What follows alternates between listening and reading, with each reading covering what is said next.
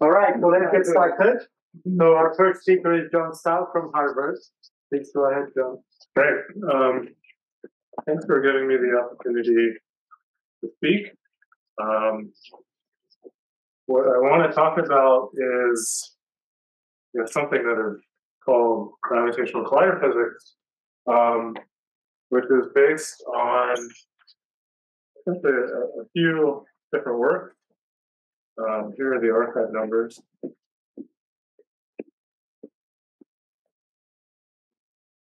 And the goal of these are to turn binary black hole inspirals into detectors of new particles. So identi- to identify uh, very sharp and very strong signals that can arise when you have a very light and very weakly coupled field um, that exists in our universe. Um, so the way I wanted to structure this talk is to essentially isolate the main ingredients. There's a very general mechanism that gives you these very large signals. And I uh, don't think that that is a particular mechanism that is only associated to the example that we studied. And so what I want to do is I want to talk about the mechanism and kind of the ingredients and then uh, illustrate that in a specific example and give uh, some parametric estimates. Um, so really the motivation, I mean, kind of clear we're all here to better understand uh, the universe. And really the, the main question is, uh, if I have an extremely weakly coupled field, a particle, and it's not necessarily abundant in our universe or cosmically abundant, it's not reheated or anything, how would we actually be able to detect such a thing? Um, and when I when I say weakly coupled, I mean basically only gravitationally coupled.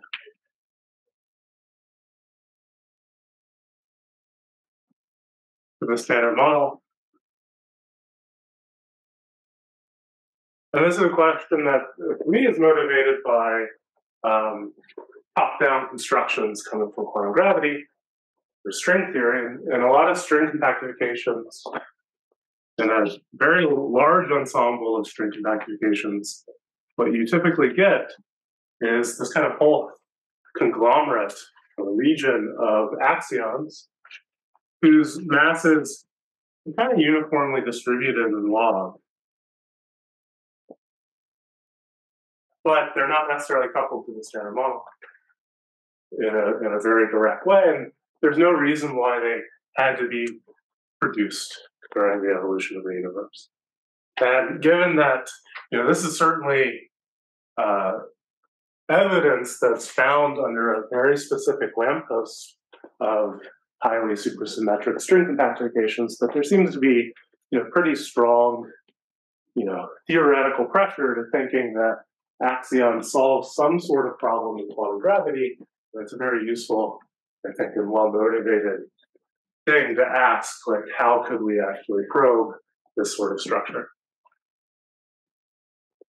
And the real killer is this weak coupling. Because usually when you have a weak coupling, it's very hard to detect something. It only appears and makes macroscopic, you know, uh, macroscopically large observations when it's in some sort of condensate or is kind of coherently amplified. And the idea is instead of relying on like how dark matter provides a very large uh, effect on the universe in terms of just a lot of stuff, have, instead of having this kind of enhancement due to very large conglomerations of it, instead rely on resonance to resonantly amplify this weak coupling and um, so that we can actually be able to detect it. So one of the, the primary mechanisms that we're going to rely on is some periodic but slowly varying in frequency perturbation, which res- can resonantly perturb the system. And that's provided by well, binary inspirals. Doesn't have to be a black hole, doesn't have to be, you know, a particular system, but the main structure here that's at work is the fact that if I have one system, I'm going to talk about black holes. I have a black hole of mass m. I have a companion of mass m star. I'll use this notation Q to denote the mass ratio of the two, and starred to denote properties of the companion.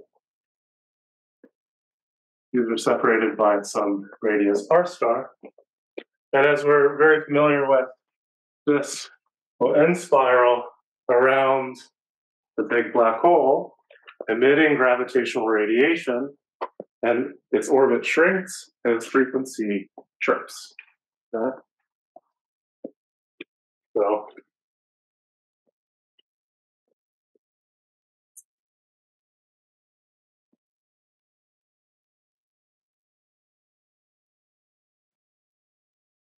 I know that the frequency of this gravitational perturbation, which I'll call big omega of t, this depends evolves like this. This is called the chirp rate. And the, this is some reference frequency with respect to what the chirp rate is defined. So specifically, the chirp rate is given by you know, some Borang numerical factor, and then some thing that depends on the mass ratio, the mass of this big black hole, and then omega naught to the. Okay? And so if I plot this frequency of this, the perturbation that the, the companion applies to this entire region, then it's going to behave like this. And this is the Mobius band.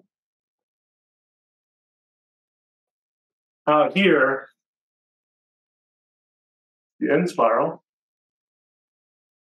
phase, so that's where we're going to pay attention to. And kind of crucially, what we're going to do is think of the frequency in that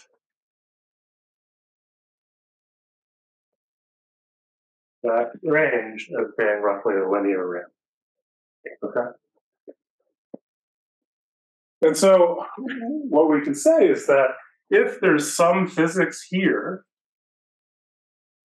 that is able to form some system, some beyond the standard model system, that has a certain structure, you know, a discrete structure, then that structure has a gravitational gets perturbed at a frequency that slowly increases, slowly scans through frequency.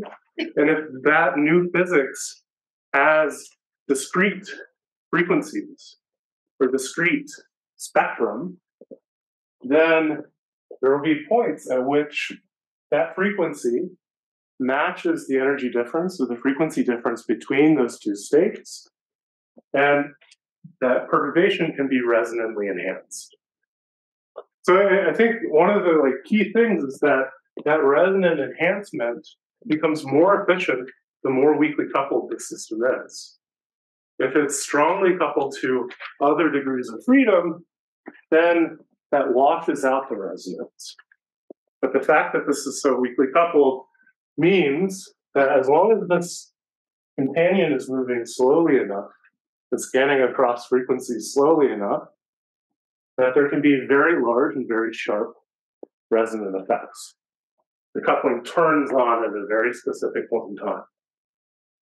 And what that can do is that can cause the system to change its structure, change its shape, and that can have very large effects on the companion and the orbital like. Yeah, it, it seems I will be scanning many more frequencies during the Yes. merger phase. Yeah. Be. Yeah. So uh, what I'm going to do is focus on things that I can actually calculate, and there's a very nice regime where I can say I know what's going on. Um, but that's certainly true. Um, so what I want to do is kind of give an illustration of this this general mechanism. Usually, what will happen here is that this will have you know some spectrum of eigenmodes around the black hole. This new physics has a spectrum of eigenmodes around the black hole that can either be thought of as like you know some discrete bound states or a continuum state. And this gravitational perturbation can mediate resonances, resonant transitions, either between discrete states or between the discrete state and the continuum. And that's kind of the, the general structure of the talk. So what I want to do is, in a, a specific example, talk about the formation mechanism, how we can have uh, these ultralight fields spontaneously form you know, a very large macroscopic cloud with this sort of structure, and then how what happens when the gravitational perturbation perturbs that system, that kind of laboratory experiment that's set up spontaneously in this discrete way and then in this continuous way.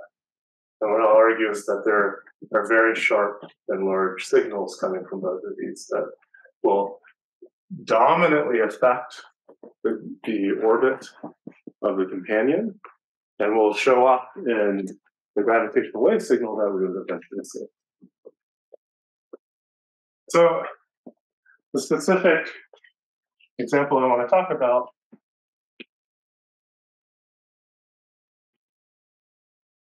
is a ultralight scalar field. This works for every type of boson.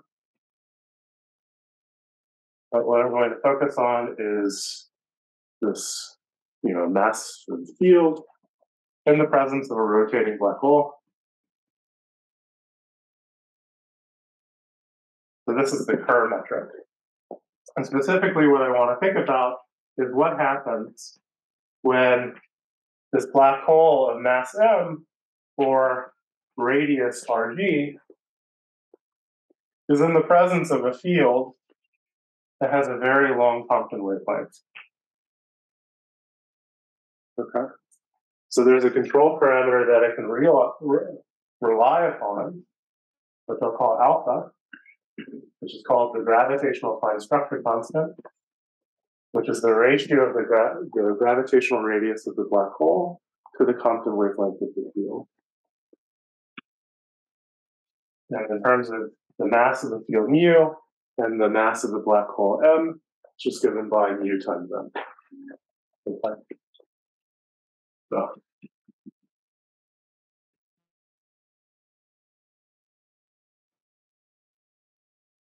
And the reason why it's called a fine structure constant is to become clear very, very soon. Um, so in the presence of this black hole, the field is so large that it doesn't really see much of the geometry of the system.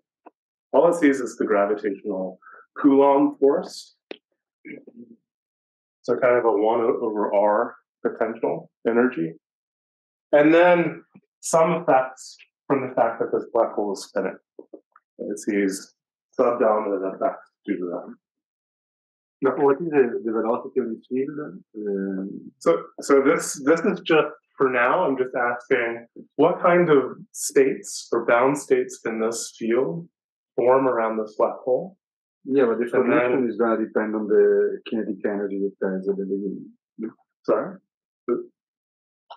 I mean, beside the fact of beside the energy level that you can compute, mm-hmm. of course, in the static uh, yeah. limit, but then the probability uh, of formation will depend on the energy, kinetic energy of the scalar.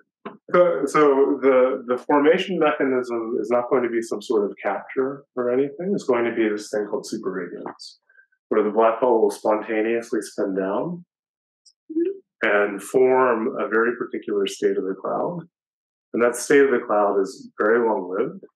And so instead of thinking about you know very specific you know specific properties about what the field is, we can just think about the bound states and say that this formation process will take over and form a very specific bound state. Yeah, I'm just asking something Mhm. very simple that I don't understand. So, how do I need to think this cloud of, of scalars? What is the average uh, velocity? Um, If you want, what is the de Broglie wavelength of this of this guy? yeah. So, so I, I think I don't know exactly off the top of my head. That that turns out not to matter for this this story. Um, let, let me let me continue and maybe the Okay. I, I think roughly it's the I, I'm surprised just because this controls the kinetic term in the equation you wrote. Okay, that's what I. what what control this controls. No, in the scalar equation there is a, a kinetic part. that yeah, depends on the de Broglie wavelength. yeah. Ah, oh, well, so the, the main yeah. So I, I think there is a competition between two different terms. Yeah. the kinetic energy and the the Coulomb potential Mhm. coming from you know just gravity, gravitational redshifting, and those are going to be on the same order. It's like asking what. Well, yeah, exactly. Let me. So, assuming that this field is very light, and taking a non-relativistic limit, peeling off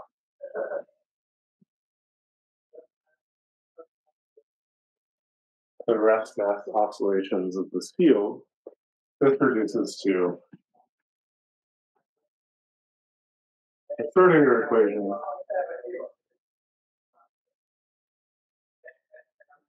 Wave.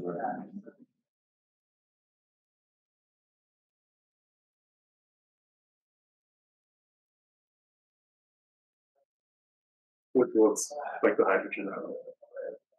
So in terms of the de Broglie wavelength, you know, in some sense, like I don't know, I, I kind of know how to define that when it's a plane wave, but this is just some bound state of the system. So we know we know what this the structure of this system looks like, at least in this limit. We can plot the energies or the frequencies of these these modes. They're organized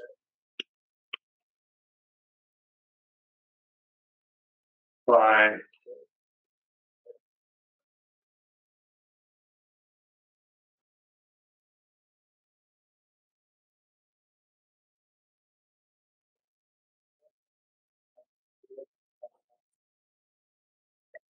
three quantum numbers, the principal quantum number, the orbital quantum number, and the as azimuthal angular quantum number.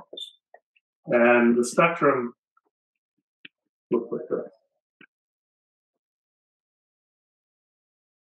So at n equals one, I have an L equals zero state, n equals two, n equals three, and then these kind of become more and more dense until I reach the continuum of states in which the effective electron is unbound. Then L equals one, it starts out at n equals two, and there are three energy levels. These are broken by the fact that this, their degeneracy is broken by the fact that this black hole is spinning. And so the spin applies an effective magnetic field it gives me a energy splitting between these different states of, you know, different m's. So this is like 211, 210, 21 minus 1, and then so on and so forth. This is another continuum. And then the same here. I have five now, and then I have this continuum, and I have just this plethora of ways that this field can oscillate around this black hole, and I can rely on my intuition coming from, you know, undergrad quantum mechanics to understand how this this field behaves in the presence of the black hole. So, and as you would expect, these energy levels, there's the rest mass contribution there's the Bohr splitting, there's the hyperfine splitting, and then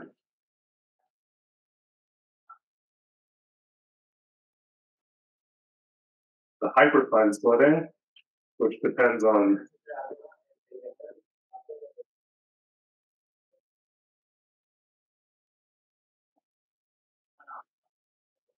this A tilde quantity, which is something that controls how quickly the, this black hole is spinning. So if tilde is equal to one, then this is extreme. Okay. So we have, in the presence of a black hole, you know, the gravitational potential acting on a massive scalar field has the ability of forming these hydrogenic like bound states and forming this gravitational atom. That's totally fine, but there's no reason a priori why this big one of these states would form. Okay? Are there any questions?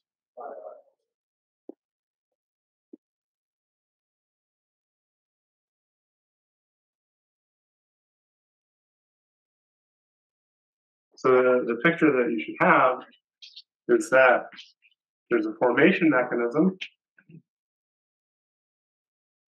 called superradiance, which is a very general mechanism that applies to pretty much any object that is rotating and dissipative. You can actually derive it from the laws of thermodynamics. But the, the idea is that if I send a wave with frequency omega and angular momentum m, then it behaves, it rotates uh, around the black hole.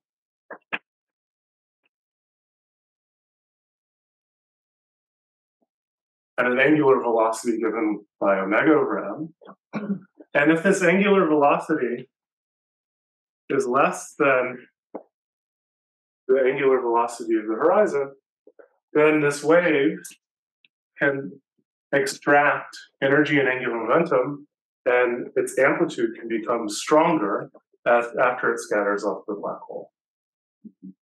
And then the idea is that if I place a big mirror around this black hole, or a gravitational potential, anything that tries to confine this wave to this region, this process will happen over and over and over again until this mode extracts enough angular momentum and energy in order to satisfy this condition. Okay? So it can spontaneously spin down the black hole and form a, a particular state with a particular angular azimuthal angular momentum and frequency.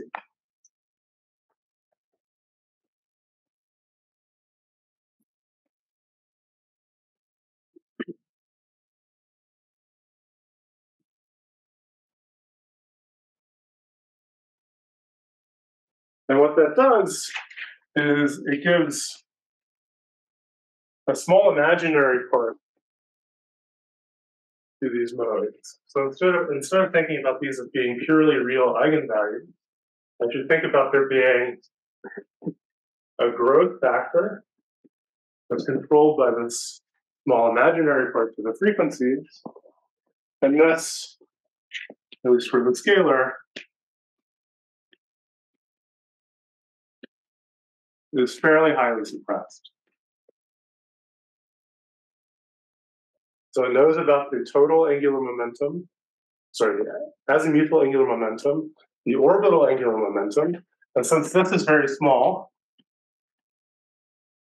we know that the state which grows the fastest is going to be the one that has minimal or total orbital angular momentum and something that can make this positive. And that's going to be this 2-1-1 state. The 2p state of the hydrogen atom, which for favorable hole sizes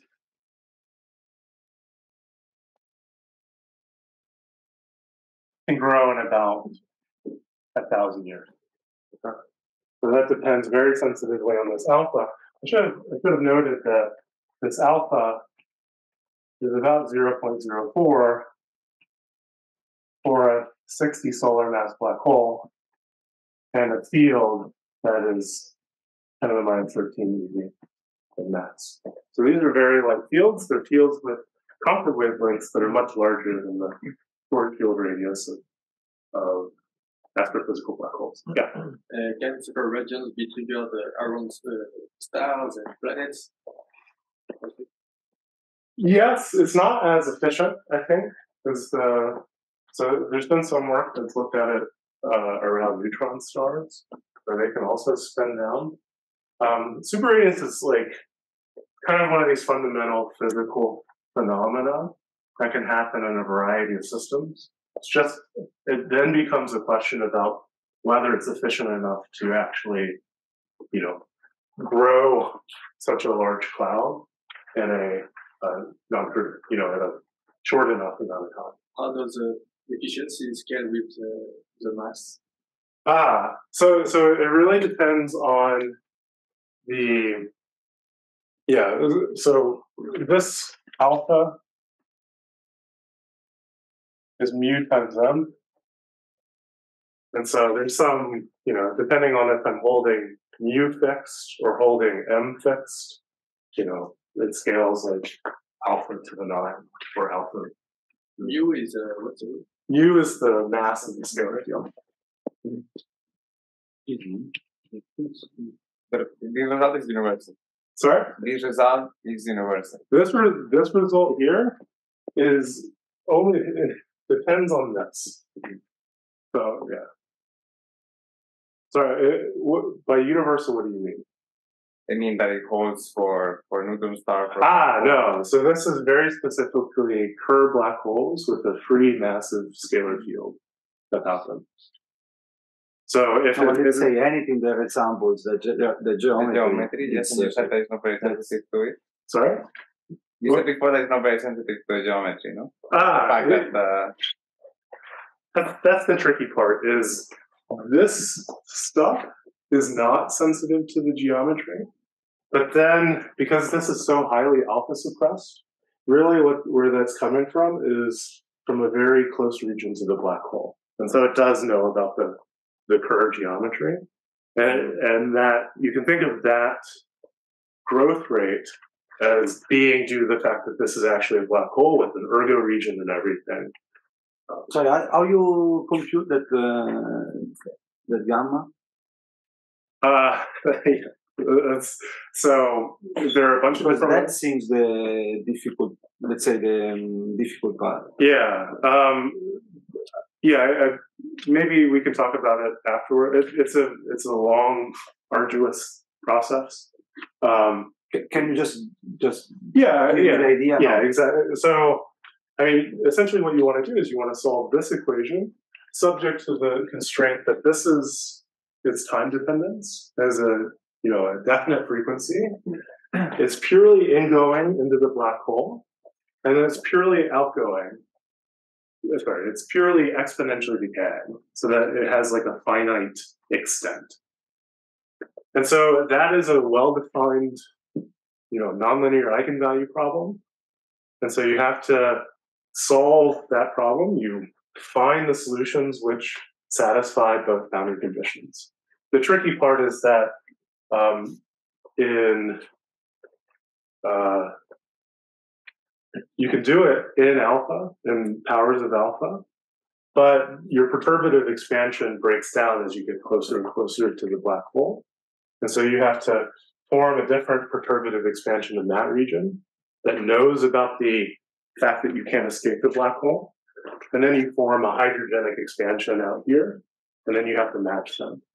And once you do that, you find that you requiring that you have a purely ingoing boundary condition here gives you this purely this small imaginary part, which is this u. It's yeah. Yeah, as you said, I mean, the scary the, the, the, the thing that, that, that, that is worrying is that it seems very UV sensitive, that part. Yeah, so so When you go to this. Yeah, yeah. So, so I will say that this this part is the thing that does rely on kind of the near horizon properties of the black hole. Um, and when you start adding interactions and all of this stuff, they kind of just have no idea how it works. But I want to present this as like a one example of a, a, general class, and maybe there are other ways that superradiance can generate this like system that is attached to a black hole. And this is a very particular example of it. Yeah. Yeah. So the efficiency of extraction of energy uh, grows with the mass of the particles, right? But then there's a trade-off because if they are uh, too heavy, right, you cannot see anything. No? So, so the, the trade-off is that this superradiance process forms this like enormous cloud around the black hole. Its size, our cloud, goes as the gravitational radius of the black hole divided by alpha squared. So for very small alpha, in which I can confidently say that this is the answer, this is, you know, huge. And then it can have a density that's like 10 to the 8 to 10 to the 12 kilograms per meter cubed for you know quite large black holes, or has the density of water like one kilogram per meter cubed for you know solar mass black holes. So it's this very like big fluffy thing which is rotating around the black hole at a frequency that's determined by this this energy. And what that's going to do is it's going to emit gravitational radiation and cause the cloud to decay. And so there's a time scale, the lifetime of this particular state, which goes like of the 10 years, I'm over 60 solar masses. And then this factor to the 15. Lots of big towers. So if I increase the mass too much and make alpha too big, it will grow very quickly, but it also just decay. And so what will happen there is that this black hole will very quickly spin down that state. Then there's another superradiant state here. It'll grow that, it will spin down very quickly. And so you'll just get this process where these black holes just spin down very efficiently and in some, you know, quick from galaxy. Sorry? They become yeah, exactly. Yeah. So the endpoint of all of these black holes is a Schwarzschild black hole. Yeah, that's how this gets around the no hair theorem.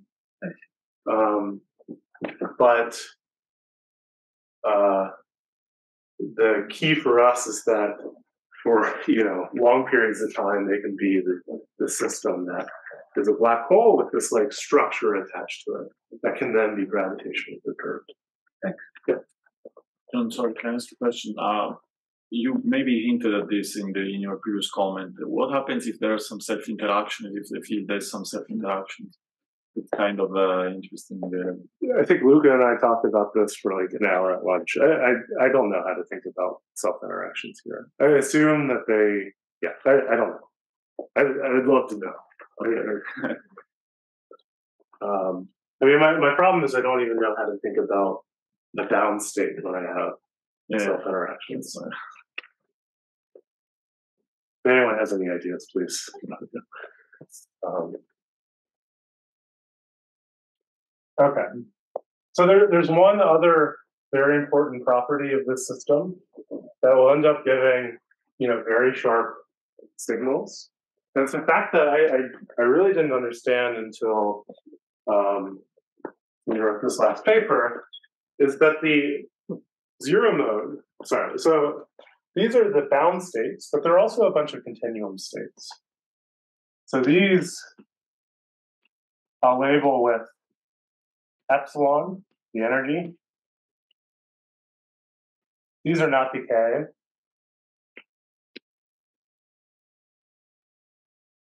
And they also have an energy and then some radial function that depends on the energy.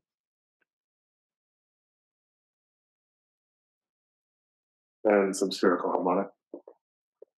And if I have some awful form um, in the radial direction, here I'm going to plot mu alpha r. And here's five.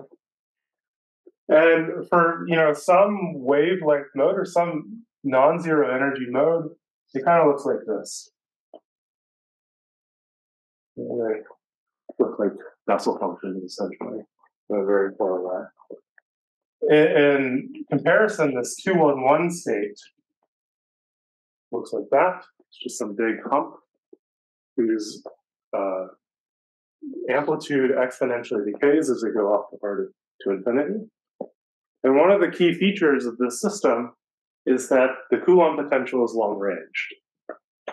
And that means that if I turn this energy to zero, the zero mode of this of these uh, unbound states is still localized around the black hole. So that's a very crucial feature that will show will have a very strong effect on the signal that you see when we start doing continual resonances. Okay? What this means is that if I have a gravitational perturbation and I look at the transition element between any bound state and that continuum state, the efficiency of ionizing essentially, this is finite. As one goes to zero. You can basically see that from this picture that I drew. I'm trying to go from the two and one state to this zero energy state, you know, I multiply by some radial profile and then I integrate, and it should give me a finite answer. If the Coulomb potential were not long range, this zero mode would just become totally unbound and I'd have a vanishing over. So,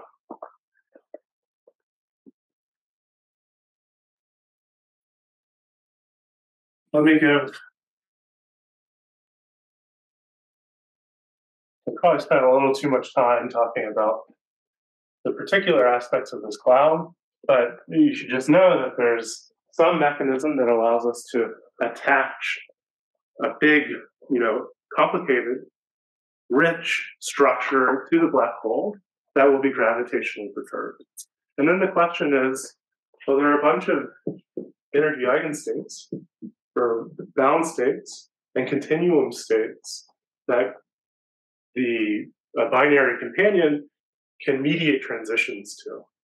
And so what happens to the cloud and to the inspiral at that at those points where the frequency matches the, the uh. So there are two cases. I have my cloud that's sitting in the 211 state. And I have the frequency of the perturbation ramping up like this. So there's going to be some point where the frequency matches the energy difference between those two states. And the case that I want to consider the 311 state. Because of the structure of the gravitational perturbation, this always has to change angular momentum. And so this transition always is accompanied by a change in the angular momentum. Here it's just my plus or minus two. About five minutes. Okay. Um, so let me give a, a very schematic picture. Let me just tell you what happens. So as I'm as the perturbation is scanning through these frequencies, what happens in this, the discrete case is that the perturbation causes a smooth and complete deoccupation from this state into this state. Okay?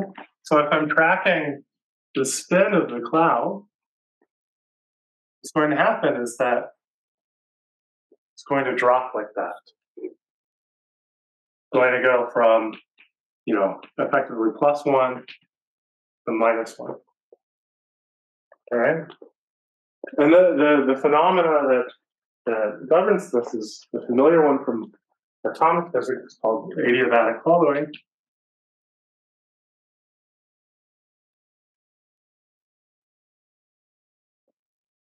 The gravitational perturbation changes the notion of the adiabatic ground state. And so as I'm moving through this transition, the system just smoothly and sharply goes from one state to the other. And that comes with a change of angular momentum. And so if I'm tracking the orbit, the total angular momentum of the orbit, that also has to change. It has to uh, uh, balance this change in angular momentum. And what I would get well, here, the angular momentum is de- uh, the cloud is decreasing. This actually happens for counter rotating orbits.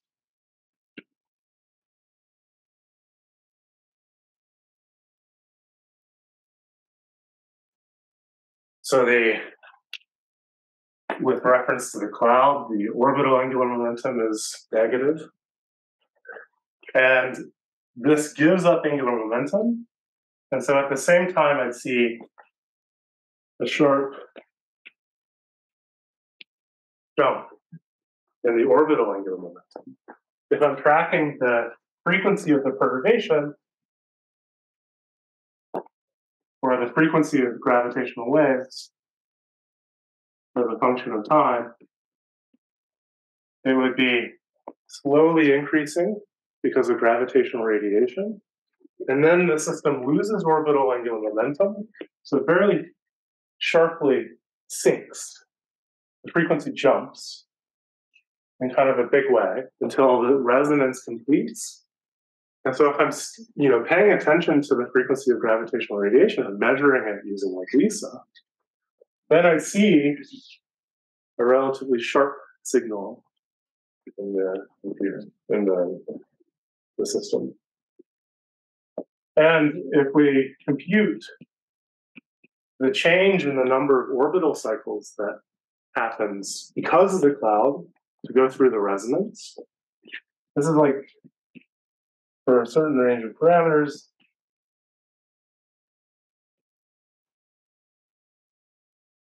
depends on the spin of the cloud.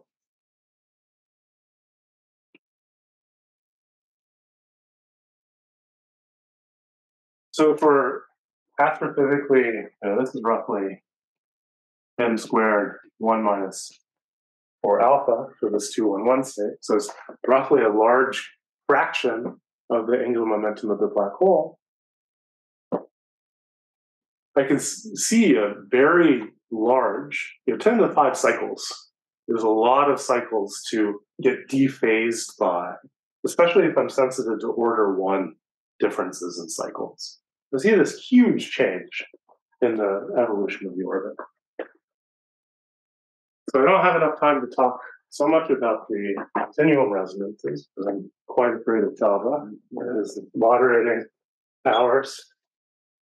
So let me just tell you what happens, there will be a point. Q the mass ratio. Yeah, Q is the mass ratio. Yeah. There will be a point in the orbit where the the companion is rotating fast enough to stir off the cloud and fling it from the black hole and ionize it. And if I track the relative occupancy of that bound state. I find that for quite a bit of work,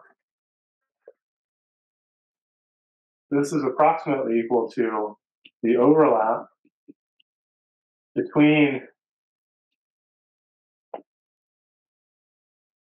the, the strength of the interaction between that bound state and the continuum as a function of time where this energy is the frequency of the perturbation minus the this energy gap. So what I can think about happening is that the companion is stirring the system.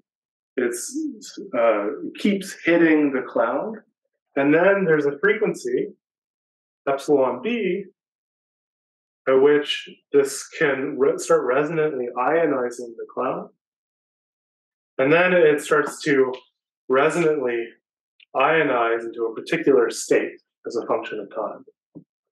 And because this was finite, as epsilon goes to zero, there's a finite transition amplitude going from here to the very edge of this continuum. I see that the instantaneous rate of the occupation will just be flat before the resonance and then suddenly start to decay. And so there will be points in the orbit at which the power, the energy lost by the orbit due to this ionization effect will very sharply jump. Let me just draw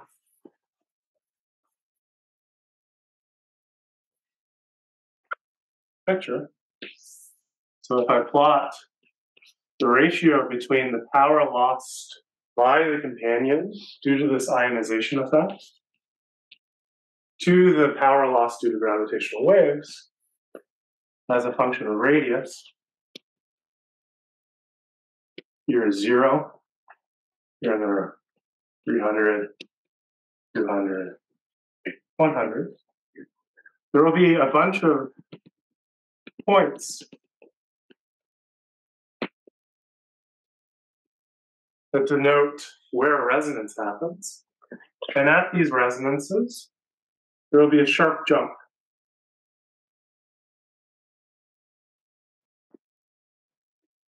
Like this. Okay. And the scale here is like 200, 100. So what I see, if I'm paying attention to this the drift in the gravitational wave spectrum that I see, are going to be these very sharp features that are very, very prominent.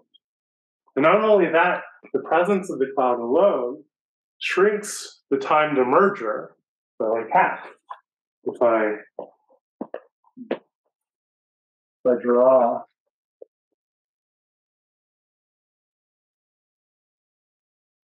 if I look at what happens, there's zero, the time to merger, and I start a system with the cloud and without the cloud at the same time at 400, what I'll see is that the system without the cloud will kind of, the radius will behave like that, maybe 400 years. Whereas the system with the cloud will merge in roughly half that time. So this system, which is very, very weakly coupled, because of these resonant phenomena, can drastically change the behavior of the, the inspiral in a way that if we're trying to detect this sort of thing, we need to form specific template waveforms because the deviation from the GR expectation is so dramatic. So, and the thing I wanted to point out is that very little of this really relied on the specific structure of the cloud. These sharp peaks rely on this, fact that the wave function is localized around the black hole. The zero energy wave function is localized around the black hole. But these resonant effects are kind of this very general phenomenon. So if you can find a, a formation mechanism that sets up a system that sits around the black hole, then you can use this to detect that, that system. So if you have any ideas for formation mechanisms or just let me know.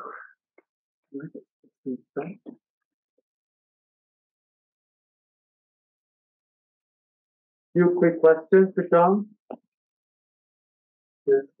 Yeah, so I guess so. You were considering, I guess, the the, the case of a binary system with uh, another object which is much smaller in mass, uh, right? This is what you were referring to, Lisa, or Uh, so so the properties of the cloud Yeah, really the question is whether you, if you had similar mass objects, similar objects, you would have two clouds, right? Uh, you would have you could have two clouds, And their then- resonances would overlap. right. Yeah, Um, and so you'd see kind of a, a doubled set of of sharp signals that in the gravitational wave.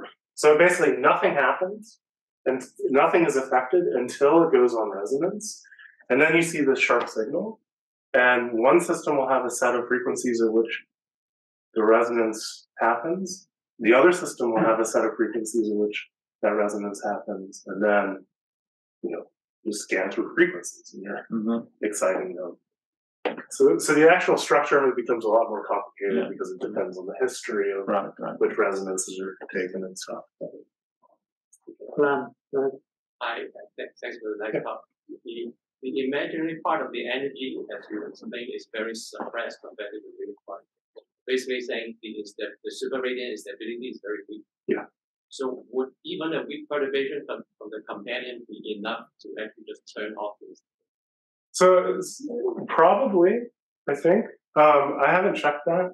The the the story I, I was talking about relies on just having the super radiant uh, instability growing the cloud and then taking that as some fully formed system.